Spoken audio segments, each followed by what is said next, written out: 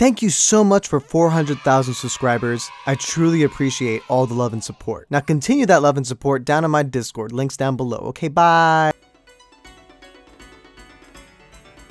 In order for Macro to become a ninja, he needed to do everything a ninja does. Macro read Japanese history, watched all the animes.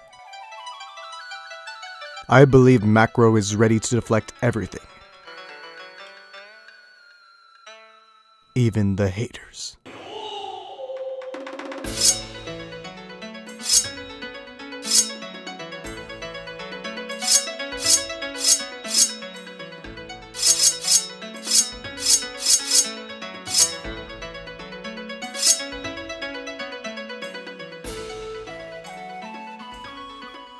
He is ready.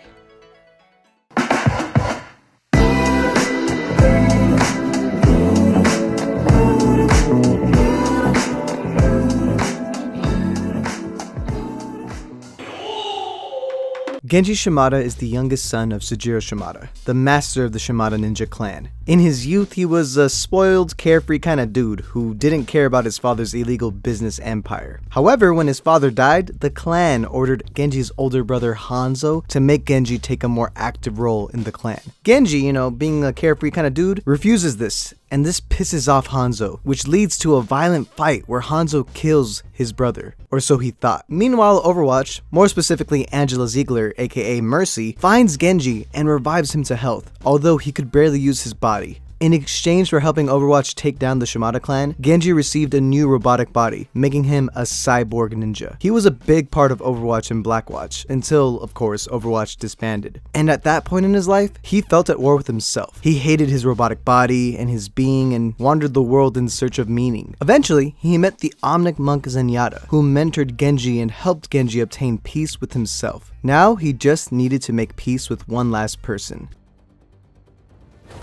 his brother Hanzo. On the 10th anniversary of his death, Hanzo broke into the Shimada castle in order to honor his brother. However, Genji showed up and they fought until he realized that he was actually Genji. Genji forgave Hanzo and asked him to forgive himself. Will Hanzo change his ways? I don't know. And last but not least, in Overwatch 2, Genji has this dope hoodie on now. Woo! Yeah! Now that you know who Genji is, let's learn how to play him. Shall we?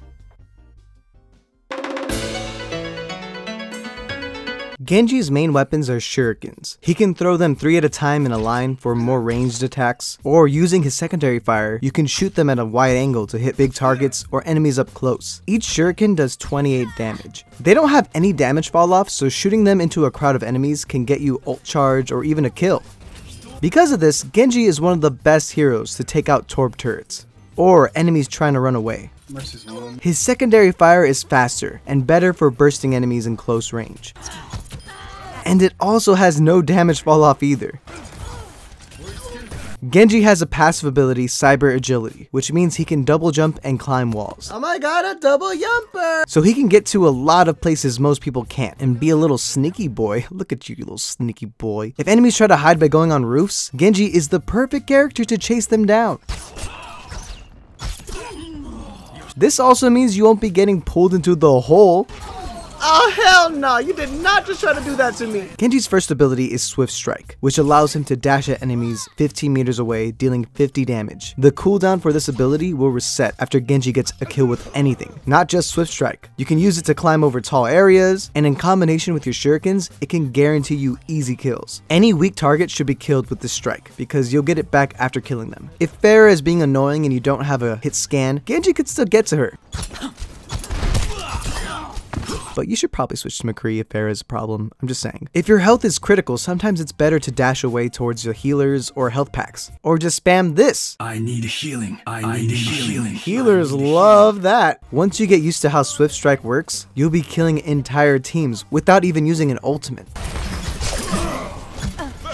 Oh, can we get this Anna? Oh man, I'm killing it!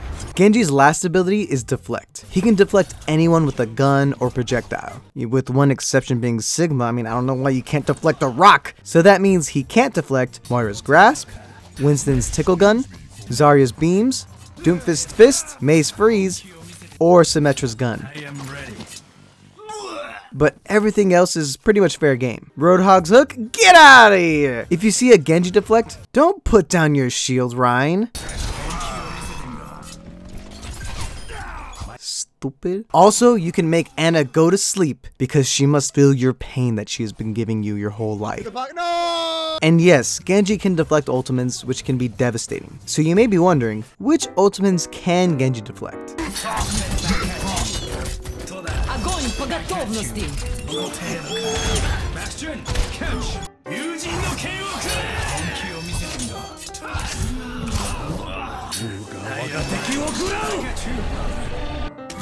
It's time.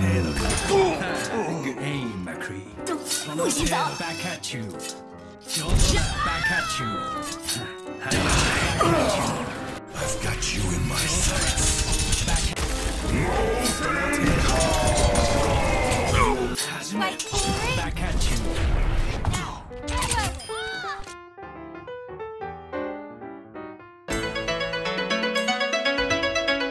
Genji's ultimate is Dragon Blade. For 6 seconds, you whip out your blade. Each swing does 120 damage and you move 30% faster. When using your blade, make sure you have a rough idea where the enemies are. Targeting the healers is always your best bet. Sometimes you just use your ult to bait out enemy defensive ults like Zenyatta's ultimate.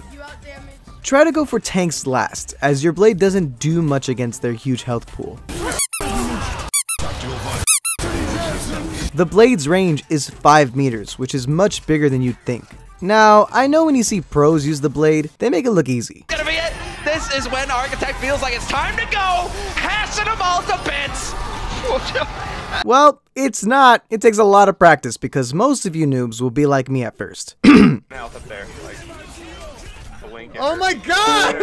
Uh, uh, uh, why? No! no. Ah! I miss it all! I'm so bad at this game! but eventually, your day will come and you will be a true Genji one trick. Why did I play? Ah! Oh, tasty! Wait. she's one. Got her! Yes! I got an achievement! I got an achievement! And if you combine big ultimates like Zarya's Grav, it can lead to some great results. Okay, I just got. Let them out. Oh, Genji's won! But I think the best combo is the obvious one, Ana's Nano with the blade, known as Nano Blade. Okay. There's a Reaper on me in the back. I'm probably gonna die. You're popping off! I actually did it! This allows for you to shred through opponents with ease. Even if the Ana isn't paying attention, you know, you should probably nano me next time a little bit earlier, but okay. This means your enemies will need to try harder to kill you too. Ready, I'm ready! No! I still got him! Uh, just one word of advice. Don't blade into an enemy team alone. Especially after they already captured the point.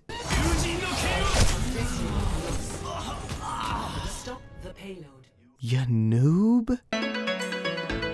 After I became a ninja, I knew exactly what it takes to be Genji. So if I were you, I would listen to these pro tips. Number 1. Mercy pocketing Genji during Dragon Blade, or in general, makes his total DPS output outrageous. And since he's so mobile, Mercy will appreciate following him for safety. Also, low-key, I kinda ship Genji and Mercy, so this is why I had to include this. Number 2. Some abilities are important to look out for, as Genji, like Reinhardt's Fire Strike, or Moira's balls, since deflecting these can get you easy ult charge while also helping your team avoid them. That's how you can get a healing medal as Genji by the way, in case you were like, what the heck, how do I get this, how do I get this healing medal, what? Number 3. Genji is a flanker that can beat other flankers at flanking, but he is best used for taking down weak targets, and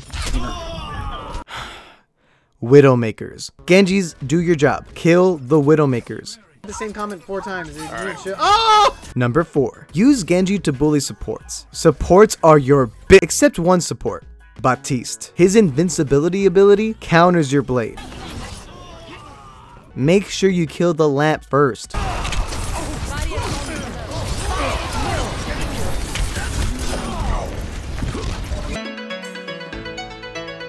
Unfortunately, with the introduction of Sigma, Baptiste, and buffs to Mei, Reaper, and Doomfist's pure existence, Genji isn't in a good place. I feel like I feel like Genji deserves a, buff where he can't be trapped. Also. Genji Genji should have 400 health. Also, Genji should uh, have a shield. Also, Genji should have a gun instead of shurikens because I think it's stupid. And Genji should be Orisa. But in all seriousness, until they revert some buffs, he won't be as good as he used to back in dive meta. I don't think he necessarily needs a buff. His kit is awesome and he's very unique and he's one of the most fun characters to play in this game. I just find it very unfortunate that these other characters that are not as high skill are the best characters to play right now. So hopefully Blizzard can fix this by Overwatch 2 because I mean I want to play Genji with that hoodie on. However, for noobs, I think Genji is pretty hard to play and it'll take a lot of practice for anyone to get really good at Genji. But what do you guys think? Do you think Genji deserves buffs? Do you think Genji actually needs nerfs? Do you think Genji is really easy to play or really hard to play? Let me know in the comments down below. Okay guys, I gotta finish the rest of these animes. I know I said I finished all of them, but they just keep coming out with new stuff. So uh, I'll catch you later. Ya noob! I'm the macro OW. I'm the macro OW. That's what actually it's not show, it's Mac Rush. OW. it's the Mac Mac? Rush OW.